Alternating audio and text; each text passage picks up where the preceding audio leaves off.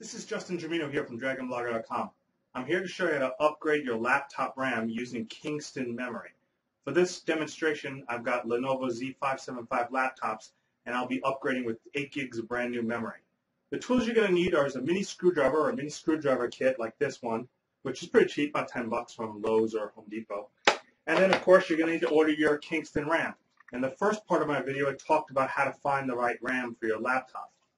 We're going to be upgrading these two Lenovo Z575 laptops, this one here and this one here.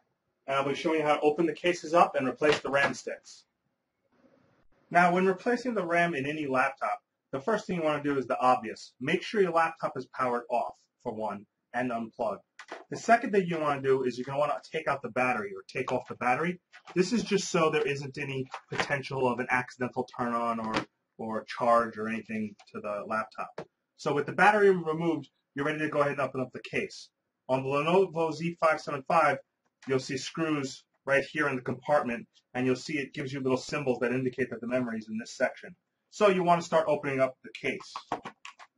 Find your screwdriver tip with the tip that fits the tiny little screws in the top of the case. And you should be good to start unscrewing the laptop.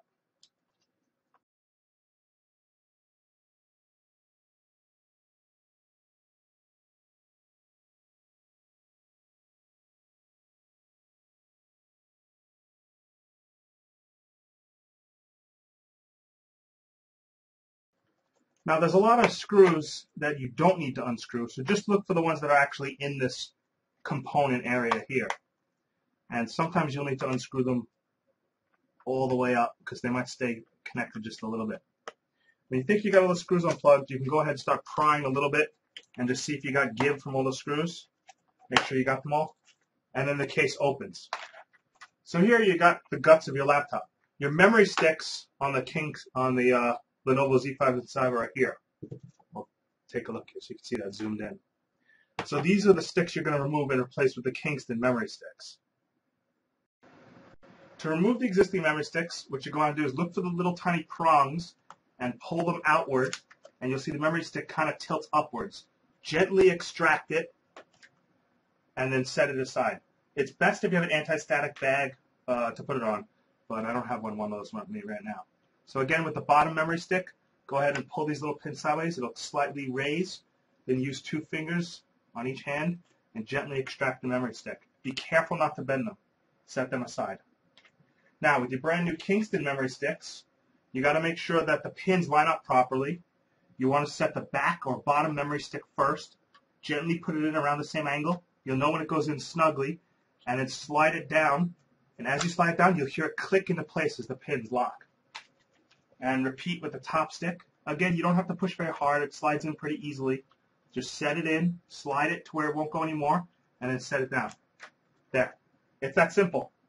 Now you just screw your case back on, and you power on your laptop, and you're ready to see the RAM in your BIOS. Once you have the laptop RAM replaced and you're booted back into Windows, go ahead and right-click on your computer, and then go to Properties, and then under your Windows information, you should go ahead and see now that you have 8 gigabytes of installed RAM, whereas this previous model had 6 gigs of installed RAM. This shows that Windows is detecting the memory and shows it properly. Again, only a 64-bit operating system, 64-bit Windows, can see more than 3 gigs of RAM. So if you're running an older version of Windows like Windows XP for some reason, or 32-bit of Windows 7, you won't be able to see more than 3 gigs of RAM. So only 64-bit Windows 7 and Windows 8 can see 8 gigs of RAM. Thank you for watching.